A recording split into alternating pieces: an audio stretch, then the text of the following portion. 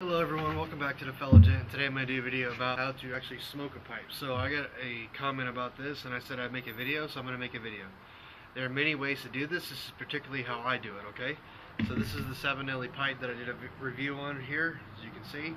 And I'll link it up there in the cards. So if you guys want to watch that video, my review of this pipe, go on ahead. I live in San Antonio, so Fincks Cigar Company here, Casanova, this is what I'm using, okay? I like to do is, many people do this in many different ways, but what I prefer to do is take it like this, inside the bag, and then you can see here, then you just push. Many people, they use a white sheet of paper, that works fine too, I've done that, but I prefer the more lazy way, because it just worked for me, so I do the lazier way. So you see here, it's sticking up, push it down, not as much, so when you get toward the top, I generally don't push down as hard, so the bottom is really loose, the middle is kind of loose, and then the top is more on the tight side. That's what she said too, by the way.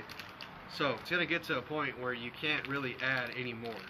Now, this is going to amaze some of you because you've never done this before, but as you can see here, it's starting to come out the top here. You can't really push down anymore. So it's going to have some left over. Now what I'd recommend is just knock some of that off. As you can see here, it's knocked off. And then you have the top it has plenty of tobacco inside of it. This is what I do, okay?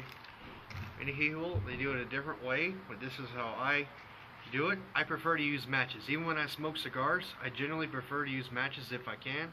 I do have torch lighters and I do like using them, but matches generally I just prefer. So what you do is, with the pipe, I always use two matches. Why? Because wind sucks. So and wind will blow out match real easily, so I always use two matches. Hopefully these things will light. Let's see here. Okay, you got two here. As you can see here, the wind already took it out. So like I was saying, the wind sucks sometimes. There you go.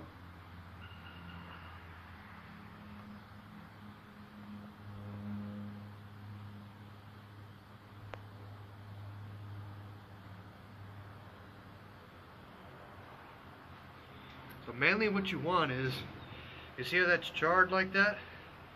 So what I do is make sure it's charred, just like when you light up a cigar, you want to toast the end of it. So basically what you're doing is toasting the end of this.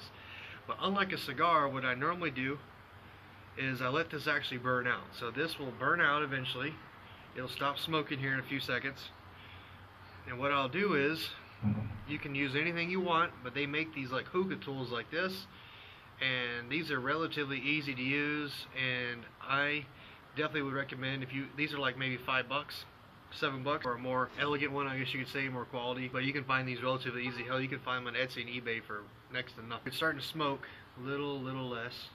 So this is when I so it's not smoking as much. So what I do remember what I showed you earlier? It's more on the top but that's what this is for. You push this down like this inside here and now you have now you're ready to smoke it. As soon as I push it down knock the flame out of it which is what I generally prefer to do. So now you kind of have what you call a cigar a cherry.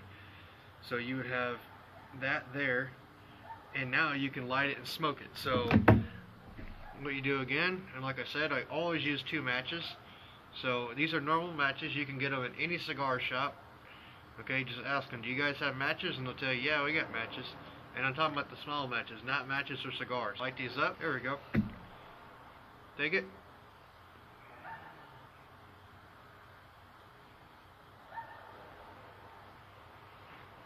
Now when you light this, you light it like that at an angle. Okay, or you can light it like that too. That's it. Okay, there you go. You're smoking away. So, this is how I light a pipe. Okay, there are many ways to do this. Like I said before, and what I would suggest is, if you guys have any other methods, maybe I haven't tried it, so I'd be willing to try it because if it works better than what I do, then I'll go ahead and try it. But please link me in the um, in the videos. I'd love to see them. And if you guys, like I said, uh, have any other methods, so link me in the videos. Please make comments telling me one way or the other what you guys do differently. I would love to hear that. That way I can try it. And on top of that, I would say if you're looking for daily content of mine, please look down on the Instagram in the description. And for more content for the fellow gent, please subscribe to my channel. And y'all have a lovely day.